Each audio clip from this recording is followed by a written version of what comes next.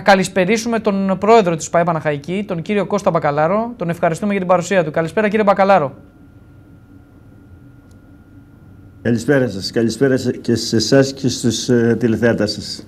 Η ομάδα της Παναχαϊκής κάνει μια ε, νέα προσπάθεια φέτος. Ε, έχει ανανεωθεί και στο ρόστερ ε, και δείχνει ότι θέλει φέτος να κάνει αυτό που δεν κατάφερε πέρσι ουσιαστικά να κυνηγήσει την άνοδο στη μεγάλη κατηγορία. Οι στόχοι, η φετινή της διοίκησης και της ομάδας της Παναχαϊκής. Κοίταξε, η Παναχαϊκή έχει μια συνέχεια από πέρυσι, από πρόπερσι μπορώ να πω και από πέρυσι είχε μια πάρα πολύ καλή πορεία. Εμείς είμαστε ευχαριστημένοι με το, το τι έγινε με όλη τη διάρκεια, το, διάρκεια του σεζόν. Ε, μετά ε, τα πράγματα δεν πήγαν ακριβώς όπως θα θέλαμε, στραβώσαν λίγο, αλλά φέτο έχει, κάνει μια, έχει βελτιώσει το ρόστερ και πιστεύω ότι τα αποτελέσματα θα είναι για την Παναχαϊκή πολύ θετικότερα. Η περσινή χρονιά πώς ήταν για, κατά τη γνώμη σας, Είδαμε πάρα πολύ κόσμο στο γήπεδο, επέστρεψε ο κόσμος της Πάτρας στο γήπεδο και αυτό ήταν ένα σημείο ε, κλειδί για την ομάδα και ένα στόχος, θα λέγαμε, της διοίκησης που το έχει πει και η ίδια από την αρχή της περσινής χρονιάς. Εντάξει, για μια νεοφώτιστη ομάδα, εγώ δεν θέλω βέβαια να μπω στα τεχνικά θέματα, αλλά γενικότερη κρίση μπορώ να κάνω και να πω έτσι κάποια πράγματα. Για μια νεοφώτιστη ομάδα στην κατηγορία πιστεύω ότι πήγε πάρα πολύ καλά με νέους παίκτες, με παίκτες ε, με Ελληνόπουλα, με μικρή ηλικίας παίκτες.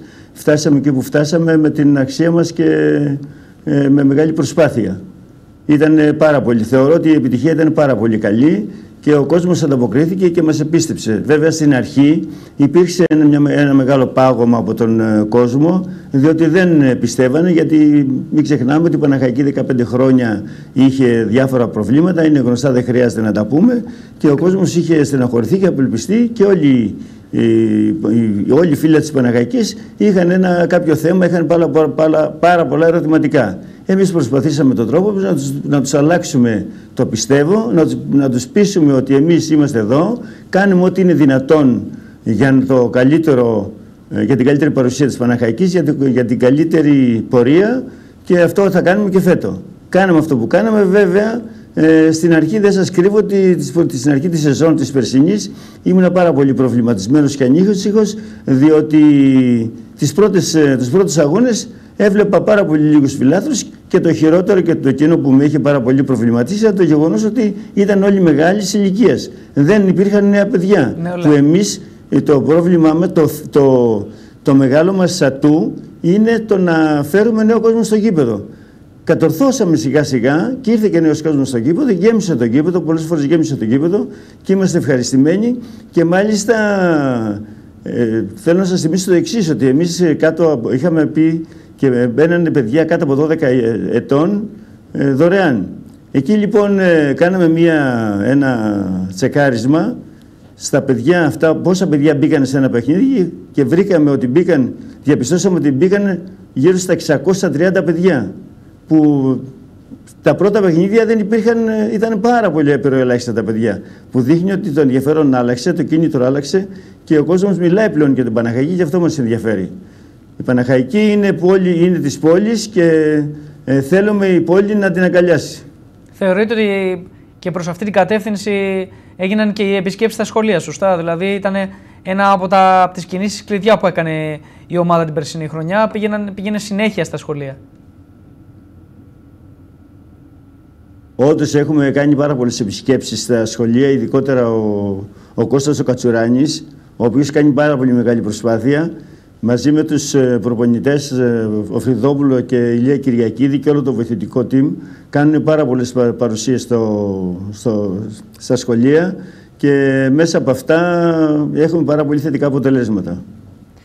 Κύριε Πακαλάρο, η, η διοίκηση της Παναχαϊκής ενισχύθηκε και σε πρόσωπα, γι' αυτό και λέγεται Παναχαϊκή Συμμαχία, γιατί έχει πάρα πολλά πρόσωπα μαζί.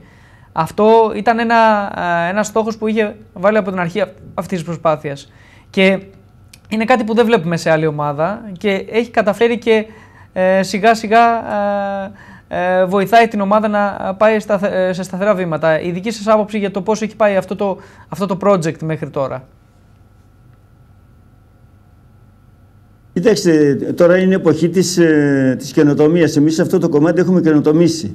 Έχουμε μαζευτεί κάποιοι επιχειρηματίες ε, της πόλης και δεν θα έλεγα μόνο της πόλης και άνθρωποι που, που, που κατάγονται από την ε, Πάτρα και είναι στο εξωτερικό, είτε είναι σε άλλη πόλη της Ελλάδος και προσφέρουν και βοηθάνε την προσπάθεια αυτή, ε, τη συμμαχία, για να κάνει αυτό που έχει κάνει μέχρι σήμερα και να φέρει τα αποτελέσματα που θέλει να φέρει. Είναι μια προσπάθεια την οποία είναι γενικότερη προσπάθεια κάποιων επιχειρηματιών, την οποία, ε, η οποία έχει φέρει και αυτό το αποτέλεσμα. Δεν είναι, δεν είναι ε, η προσπάθεια ενός, είναι η προσπάθεια πολλών.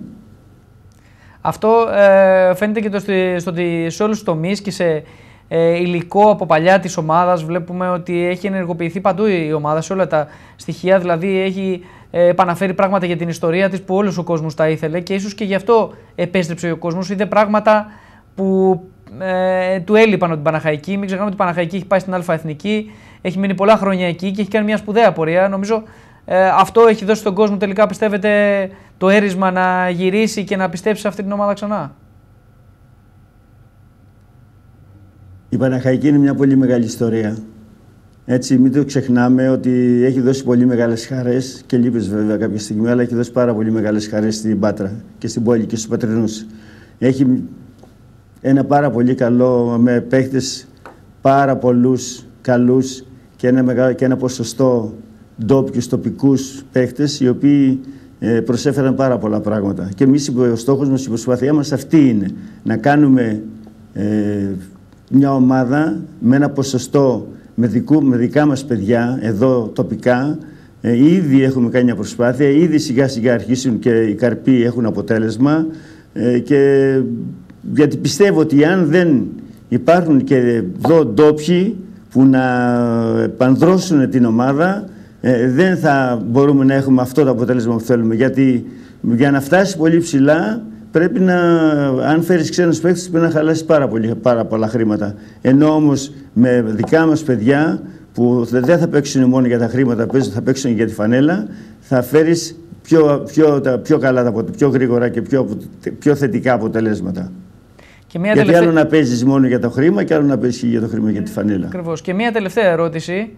Ε, Όπως είπατε και εσείς, σίγουρα στα καθαρά αγωνιστικά δεν μπορείτε να απαντήσετε, αλλά ε, υπάρχει ένα όραμα που έχει θέσει η διοίκηση για αυτή την ομάδα, το πού μπορεί να φτάσει, πού μπορεί να, πού μπορεί να πάει. Υπάρχει κάποιο όραμα που έχετε θέσει από κοινού με τη διοίκηση και το τεχνικό team και τον κύριο Κατσουράνη; Το όραμα της διοίκησης και της διοίκησης και του τεχνικού team είναι κάθε χρόνο και καλύτερο. Πέρυσι πήγαμε και που πήγαμε, φέτος στοχεύουμε κάτι καλύτερο και πιστεύω ότι θα το πετύχουμε. Δηλαδή, τι εννοούμε, ότι φέτος πρέπει να αλλάξουμε κατηγορία.